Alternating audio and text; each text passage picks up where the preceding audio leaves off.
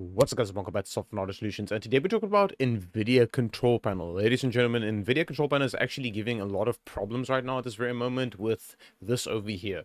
Just in general, depending on how many screens you have, if you have one screen, if you have multiple screens, whatever the case might be, it's this over here. Digital vibrance automatically goes back to its defaults, which is basically 50 over here. I'm just going to get to 50 and it looks like this. Every time you restart your computer or you maybe reboot or you shut your machine down and you restart your computer, your settings will look like this. Every time you come into NVIDIA control panel, you can actually see it while playing games. And what I suggest is in all my videos, especially my Call of Duty videos and for games in general, I intend to let people push this up so you have more digital vibrance in your game. Now mine is 95. That's a sweet spot for me, so I just apply it over here and then I apply it on all my other monitors as well. This is my main screen and I have multiple screens here as well. So just do this for all screens if you have multiple screens or if you just have one, you could just do it with one and have your contrast at 65. This is the sweet spot for basically every single game that you're going to be playing, especially if you're a Call of Duty player and just in general overall whatever game you're playing this is the best right now at this very moment is brightness at 50% contrast at 65 gamma is obviously at 1.00 it's obviously its defaults.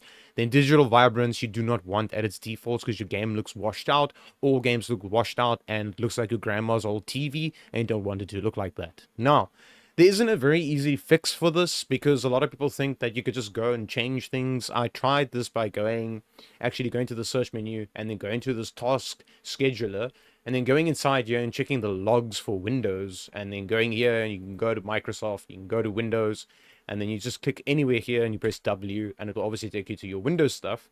And then there is things like this here, Windows color system.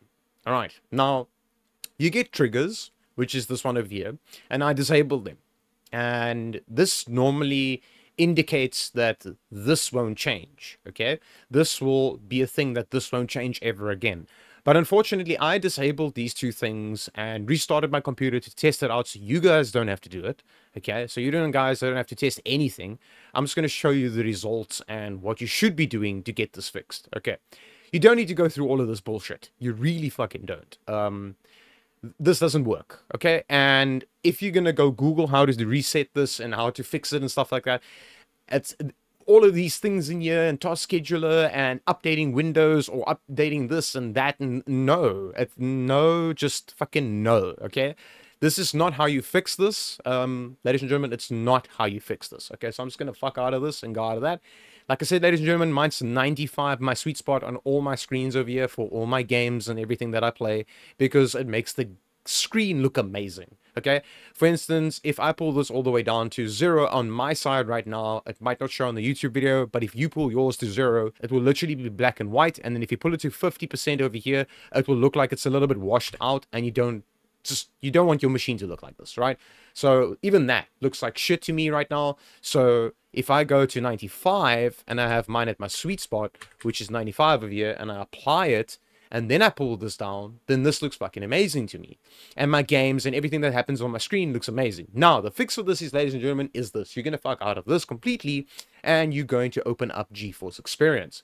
If you are a GeForce Experience owner, then don't be on this drive. 565.90. This is the latest graphics card driver out right now at this very moment that everyone is on at this very moment to obviously be up to date with the latest graphics card drivers, as you can see, this driver has a bug when it comes to your digital vibrance and when it comes to color customization and stuff like that. So this driver has a bug. Now, for you to sort this out, or you could just wait. You could wait for a new update to come out, but that's that could take some time. And every time you boot your Windows, you do not want to every fucking time boot your Windows, right click on your desktop, go to NVIDIA control panel, and then wait for it to open, then come inside here, then change the fucking contrast, then apply it, then go fucking minimize this, go play your game, restart your computer the next day, do the same thing over and over. You're going to repeat yourself and keep doing it over and over and over and over again. Now, you don't need to do that. The only thing that you need to do is this, okay? You are obviously going to just fucking close out of that. If you have GeForce Experience, cool. If you don't have GeForce Experience, that's also fine. Don't worry about it. A lot of people don't use GeForce Experience to update their graphics card drivers. They just do it manually, okay? I know a lot of people that do that. Now, ladies and gentlemen, you are going to roll back one driver. That is what you're going to do for this to be fixed, basically. This is how to fix it, ladies and gentlemen. You are going to come to this driver over here, which is 561.09. This is the driver you are going to go and download, okay?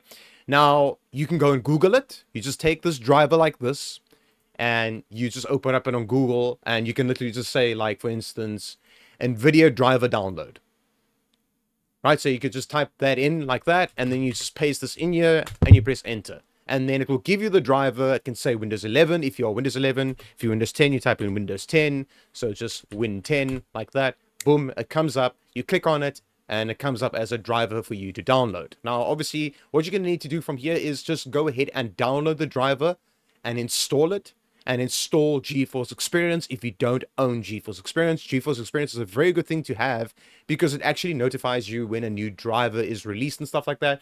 And it will actually notify you at the bottom and let you know that there's a new driver and stuff like that. So if you don't want to manually keep updating your drivers through basically Windows and stuff like that, use GeForce Experience. But anyways, ladies and gentlemen, that is the driver you are going to go ahead and install is this one over here, which is 561.09. This is the fix for it, ladies and gentlemen. After you installed it, restart your computer, do your digital vibrance, do everything that you need to do for your games and stuff like that, apply it, and then restart your computer again.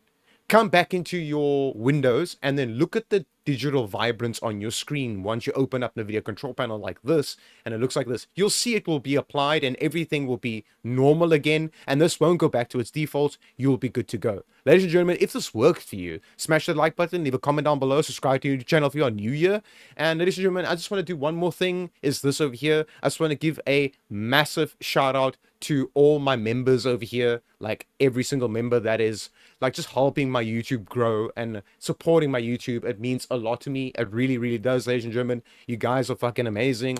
And I appreciate every single one of you guys that became a member, that gives super thanks, that leaves likes, that leaves comments, that leaves feedback to tell me thank you that this worked, or at least leaves a like, or whatever the case might be. Ladies and gentlemen, if this worked for you, smash the like button, leave a comment down below, subscribe to the channel if you're new here, and as always, I hope this helped you, and peace out.